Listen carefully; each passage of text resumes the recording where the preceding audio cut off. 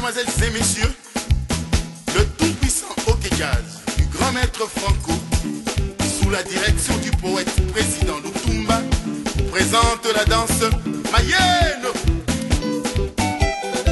Mayenne. Mayenne.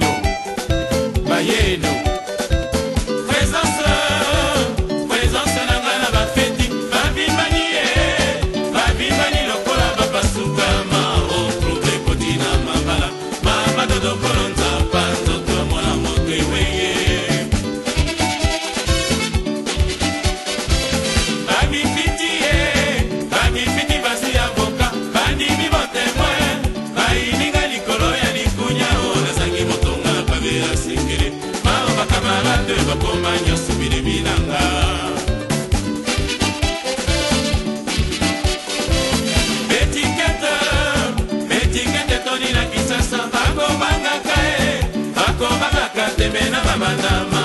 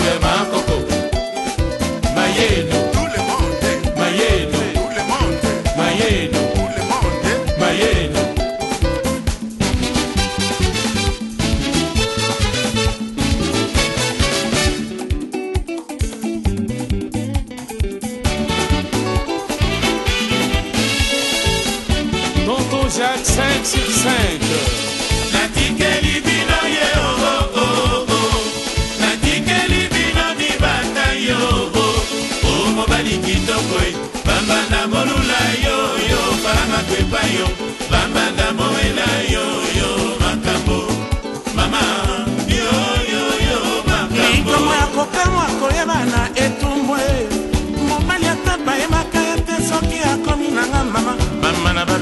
seke soki natuni balobi o babota na ye bawelaka nini enga ye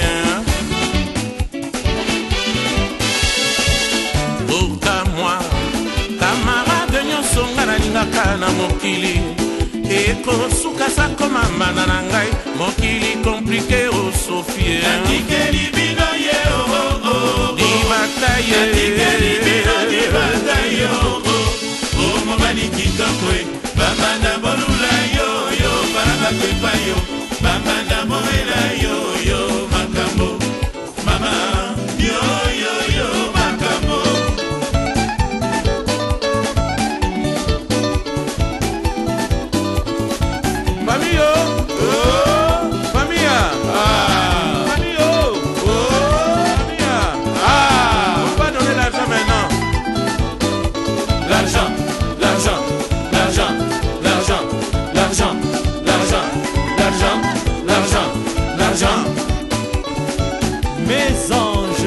ya Oh,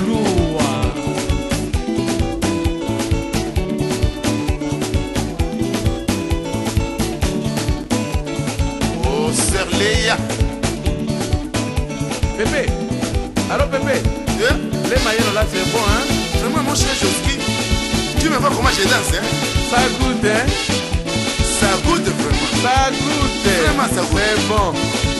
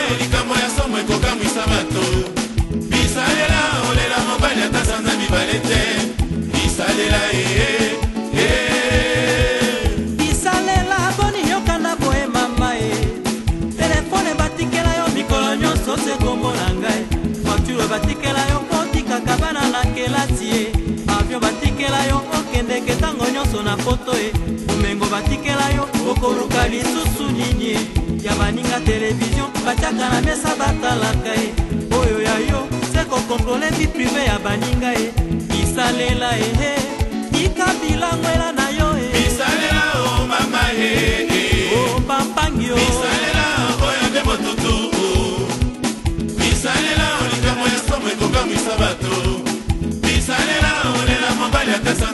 ezali te misalela ye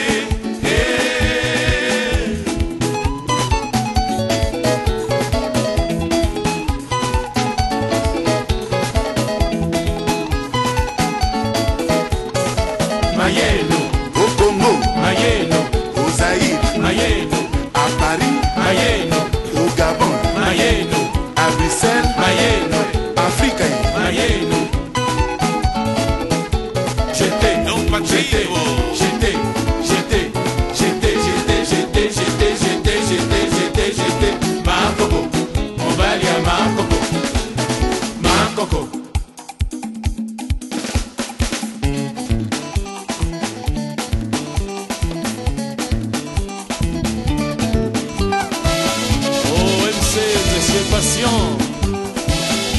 Oui Tu n'es pas encore fatigué. Hein.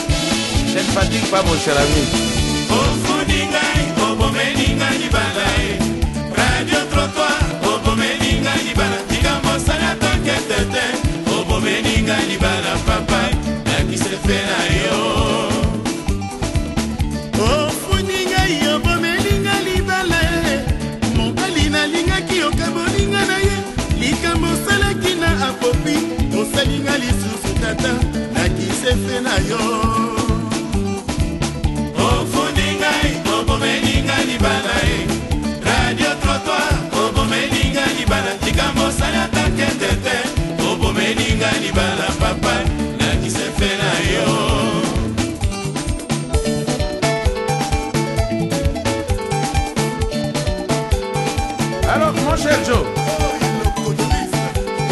frère Joski. Mon cher Joe. Oui, mon frère Joski. Est-ce que toi là, tu contentes cette musique-là ah, mais moi, je contente ça beaucoup, mon frère ah, Joski. Moi, plus que toi, je contente trop. Et le frère Pépé là, qu'est-ce qu'il passe Tu vas pas ambiance même que créer, nous. Alors, chantons. nous, vraiment c'est bon. Maïeno, c'est trop sucré. nous, ça goûte bien. Maïeno.